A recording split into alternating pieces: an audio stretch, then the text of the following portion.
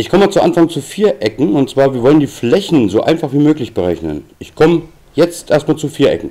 Fangen wir mal folgendes an.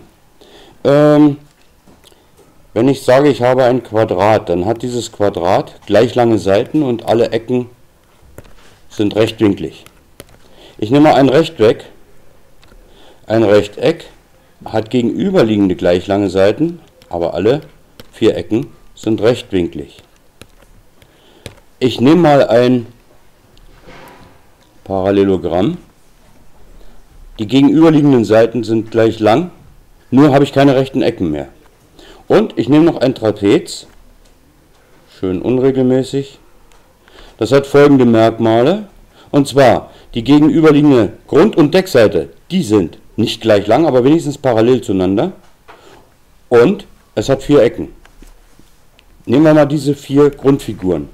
Und jetzt gibt es folgende Formel, um eine Flächen zu berechnen. Ich fange mal mit dem Trapez an. Ich habe hier eine Deckseite, hier eine Grundseite.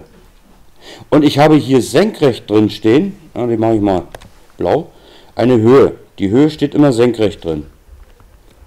Und die Formel, um die Fläche des Ganzen zu berechnen, sieht so aus. A wie Area ist gleich. Und jetzt kommt was Verrücktes. Grundseite plus Deckseite geteilt durch 2 und das Ganze mal Höhe. Einfach bloß mal das Ganze hier angewandt. Ich habe auch hier eine Höhe senkrecht drin stehen. Ich habe eine Grundseite, ich habe aber auch eine Deckseite, bloß die sind gleich, aber das ist jetzt im Moment egal. Die Formel sieht so aus. Entweder ich nehme die hier oder ich mache sie mir ein bisschen einfacher. Aber wo ist der große Unterschied? Grundseite und Deckseite durch 2. Äh, das kennt ihr vielleicht. Nehmen wir mal an, ihr habt äh, in einer äh, Klausur eine 1 geschrieben und habt in der nächsten eine 3 geschrieben. Dann errechnet man den Durchschnitt, indem man sagt 1 plus 3 und teilt alles durch 2, weil ich zwei Zensuren habe. Hättet ihr drei Zensuren, müsst ihr durch 3 teilen. Vier Zensuren durch 4. Bis dahin klar? Gut. Und wenn ich sage Grundseite und Deckseite durch 2, dann ist das der Durchschnitt zwischen diesen beiden Seiten. Und das Ganze mal Höhe. Ich könnte also diese Formel hier auch nehmen. Aber da ich mir das sparen kann, denn was ist, wenn ich, bleiben wir mal bei Zensuren, wenn ich zwei Einsen habe und teile die durch 2, dann kann ich auch gleich diese 1 annehmen. Also kann ich sagen, Grundseite plus Deckseite durch 2 kann ich mir sparen, mal Höhe. Ich kann mir selbst hier diese Grundseite hinmalen und die Höhe, die steht zufälligerweise schon als Seite hier senkrecht. Das ist auch eine Höhe. Ich kann die Höhe auch hier reinmalen, das wäre kein Problem. Ich kann auch hier sagen, das wäre die Höhe. Oder ich kann sie auch hier reinmalen. Aber wenn sie schon als Seite dasteht, muss ich meine Zeichnung nicht noch weiter verunstalten. Und ich habe auch hier eine Grundseite. Okay, hier und hier sind Grundseite und Höhe gleich. Hier sind sie nicht gleich. Hier gilt, a ist gleich Grundseite mal Höhe. Auch hier gilt, a ist gleich Grundseite mal Höhe. Ich brauche eigentlich nur eine einzige Formel.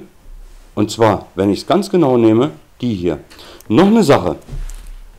Nehmen wir nochmal äh, diese Figuren an. Ich behaupte einfach, ein Quadrat ist auch ein Trapez. Trapez das hier, ne? Warum ist ein Quadrat ein Trapez? Ganz einfach. Die Bedingung für ein Trapez heißt, Grundseite und Deckseite müssen parallel sein. Sind sie das beim Quadrat? Ja. Dass sie zufälligerweise noch gleich lang sind. Okay, das ist eine Zugabe. Ne, kann man so als als positiven Nebenbei-Effekt nehmen. Ich behaupte, ein Quadrat ist auch ein Parallelogramm. Parallelogramm sagt, Grundseite und Deckseite müssen parallel sein und die anderen beiden müssen auch parallel sein. Gucken wir mal. Grundseite und Deckseite sind parallel und die anderen beiden sind auch parallel. Ich kann auch sagen, ein Rechteck ist ein Trapez, denn Trapez heißt nur Grundseite und Deckseite müssen parallel sein. Das ist beim Rechteck der Fall. Und daher kommt nämlich auch diese Gemeinsamkeit.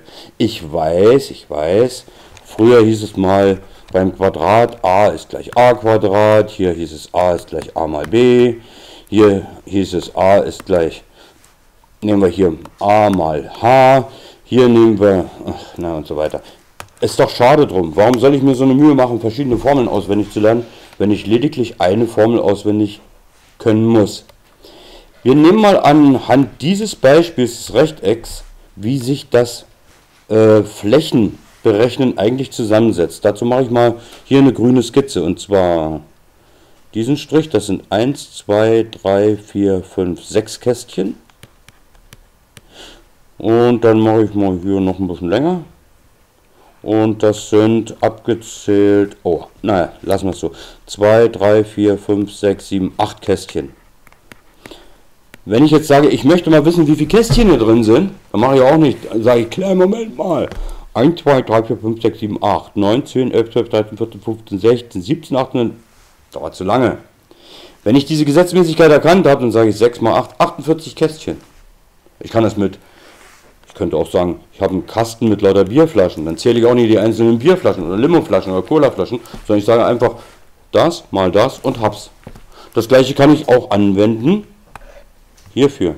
Das gleiche kann ich aber auch hierfür und hierfür und hierfür anwenden. Zu diesem Beispiel nochmal was anderes. Ähm, hat jemand mal Spielkarten hier, zufälligerweise? Jetzt wird es ein bisschen verrückter. Und zwar, wir gucken uns mal ja, schade. Äh, wir gucken uns mal nochmal die Fläche des Trapezes an. Und jetzt habe ich folgendes Trapez. Ich mache das mal in schwarz wieder. Und zwar